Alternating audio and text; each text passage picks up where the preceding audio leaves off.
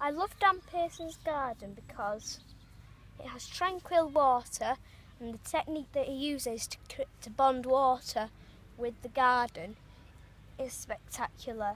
I love the bridges, the rocks, different flower flowers around it and I just love the technique that he, he's used.